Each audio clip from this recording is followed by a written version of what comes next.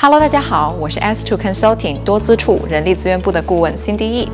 那么，随着今年五月份的大学 Co-op 录取项目的申请季逐渐结束呢，我们又迎来了九月份开始的大学 Co-op 项目的申请季。那么，今天这期视频呢，我们就来讲讲大学 Co-op 项目的重要性，以及接下来我们应该如何规划，才能保证自己在九月的时候顺利拿到大厂实习的机会。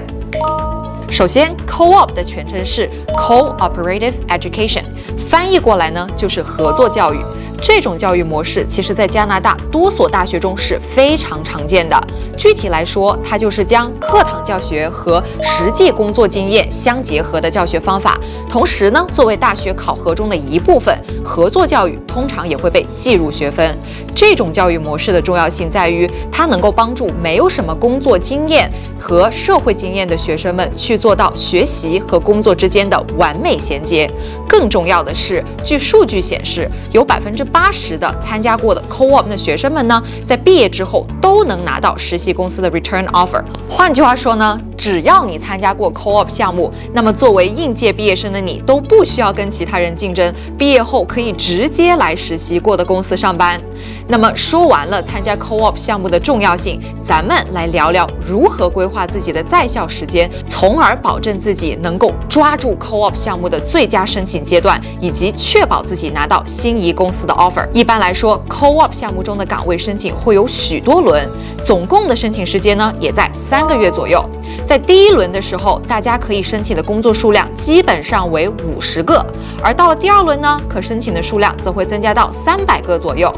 但是呢，从第二轮开始，学校这边所放出来的可申请的工作岗位，则是以滚动的形式来呈现。也就是说，每周学校的名单上仅仅会放出大概十个新的岗位供大家去申请。因此，如果屏幕前的你想要在九月开始实习的话，第一轮的申请则会在五月份启动。以此类推，如果您是想要在今年十二月份开始实习的话呢，那么第一轮的申请时间则会从八月开始。在确定了申请时间以后，我们要做的就是尽可能的保证自己在投递岗位之前，将个人的简历准备好。